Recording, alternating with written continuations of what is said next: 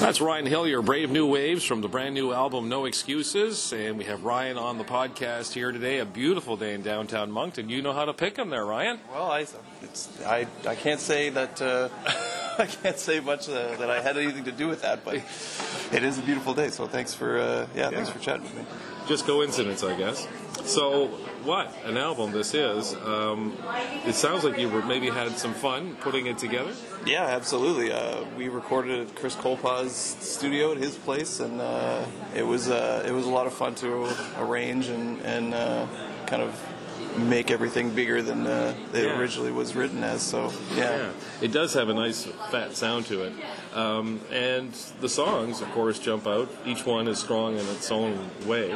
Um, you've also had a lot of help with regards to guest musicians on the album, haven't you? Yeah, absolutely. I mean, we got uh, the divorcees, uh, Alex Turtle, Kevin, and uh, Sean. We, we got together and rehearsed and arranged the tunes, and and then took them into Chris and worked on them uh, even more. So it's a long process and uh, not always easy, but uh, the end results are, uh, I think, speak for themselves. So it was uh, it's a good time. Did you bring all these songs in the studio, or was there some that was still kind of a work in progress? I think I think they were all kind of a work in progress. I mean, we we worked them up as much as you know you get them to one level, and then I wanted to you know get Chris's input on it and, and have him you know uh, arrange some stuff that that he thought would be good on there. So you know it was truly a collaborative effort.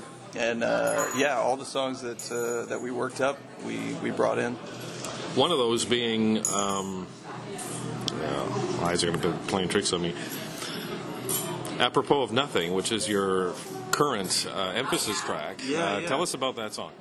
That one is it's kind of funny because uh, it's it's kind of a reflection of what's what's happening in the world today, and that was just kind of where where uh, what I was looking at at the time when I was writing it because you know we live in this in an age where information seems to be everywhere and there's a lot of it and, and A lot of information, but still there's a lot of emptiness, eh? Well, that's that's Yeah. kind of the, the, the emphasis of the track is that you know we have all this access to to you know the internet and everything like that, but it can be easily uh, it it can be manipulated and, and and those kind of things, and so it be, can become a question of like. What are we really, you know, what are we really believing, like, and what what are we looking at? So, it, it's it's very much about that, about you know, really what you uh, you should be listening to is you know your your instinct and and you know and you're the one that uh, ultimately has control over your own life. So uh, it's just So you're of giving us permission to do that? Well I, in the don't- song? I don't know if it's permission. I would say it's advice, maybe uh, a little bit more of an advice uh, tip, but uh, yeah, it's it's uh, it's kind of a funny uh, atmosphere to, to be releasing that, that kind of music in because it's very very it's just the stuff that I was writing about kind of has become more prevalent as time goes on. It's uh, apropos, if you will. Well, there you go. Yeah.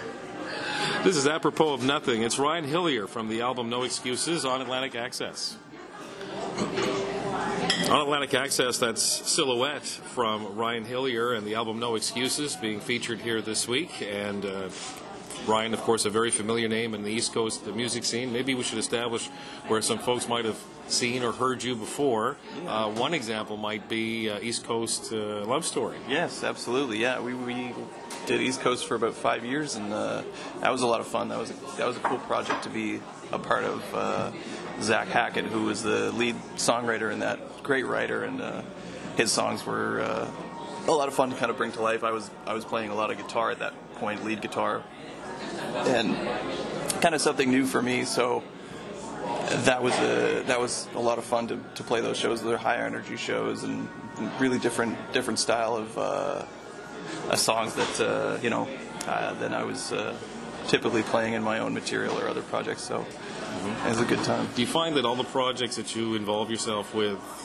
does it help inspire the next one or the next uh, personal project? I think definitely because, yeah, the way I look at it, there's always you're always learning, and, and that's really the goal ideally, you know, whenever I do something, it's like I want to, I just want to keep learning how to uh, do do different things within music and, and different ways to do music. And I think the great, the thing that I've learned, the biggest lesson that I've learned doing all of these projects and just up till this date is that there is no there is no right answer and there is no absolutely right thing that is gonna you know be the thing that's gonna be great every time. You you know the point is to to adapt your your process and to constantly kind of do what's going to serve the song because really that's that's really the point is is you, you know you come up with the inspiration idea and then just do whatever it takes to to serve that song and it's the boss like that's a that's a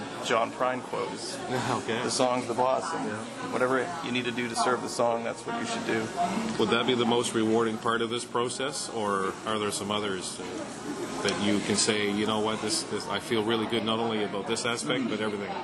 Yeah, well, I mean, this this was rewarding in a number of ways. This album, especially, is that you know I I started from a place of not necessarily knowing if I was going to continue doing music, and then deciding to to make another record, and then uh, having that record be something that was you know continually inspiring me, and it continued to it, it continued to to teach me things, um, and was kind of a, a source of. Uh, continual inspiration along the way Yeah.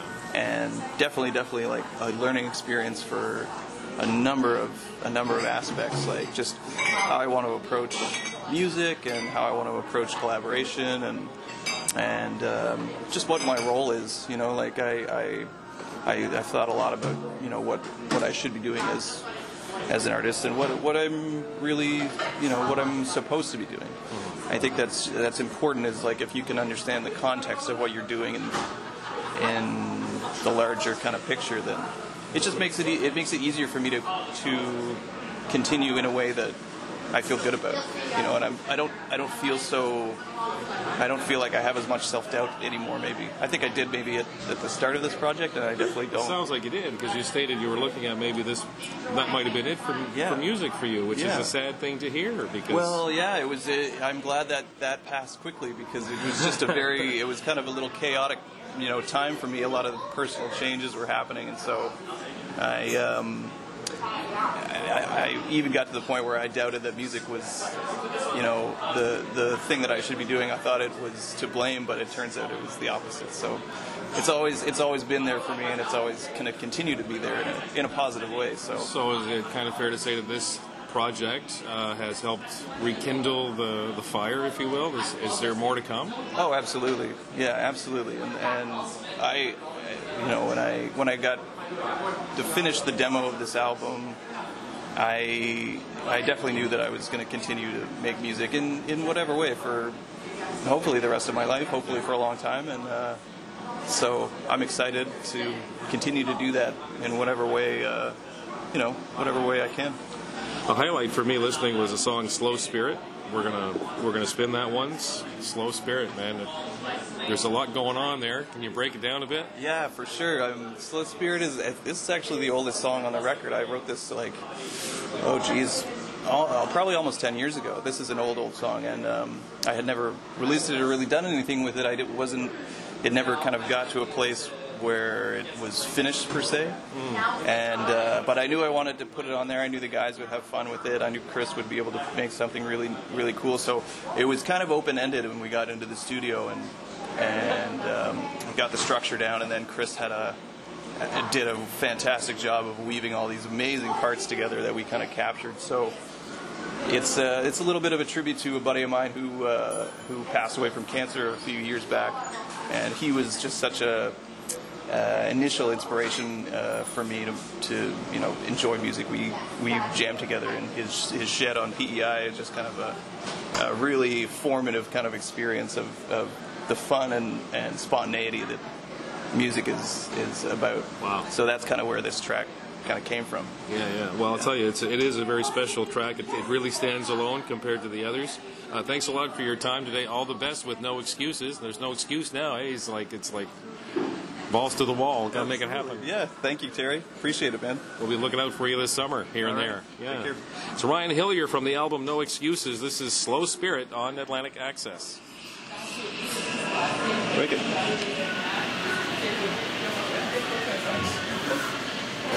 Lots of stuff there. And, uh, we'll make that happen over the next couple of days. Awesome. It down and make it work. Thanks. Appreciate it. Thanks for keeping me in the loop. Yeah, We talked absolutely. about this almost a year ago. Well, I know, I know. Yeah. So it's, ta- it's taken a little bit, of time, but I mean, No, and it's fair. I mean, that's fine. It's just that I'm kind of thinking. Oh, absolutely, yeah. So we're able to do this. well, I mean that's the thing. Like right now, the right now, there's not a lot of, uh, there's not a lot of outlets for, for people to talk about. it. Not a lot of press, essentially. So, you know, get to talk to people. That's, I think that's such a BBC is usually covered. They are, and that was really good. I think that uh, just for me, like it's, I like just hearing people who are making stuff. I like listening to people talk about process and that stuff. So for me to get a chance to do that is just really, just kind of nice. Yeah. But uh, enjoy the rest of this beautiful day. It is. It is a beautiful day. I think there's more crazy stuff coming.